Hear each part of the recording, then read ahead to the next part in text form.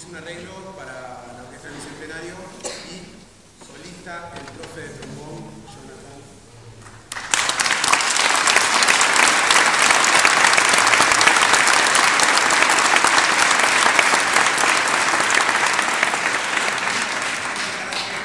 Primero alumno y parte de la orquesta y ahora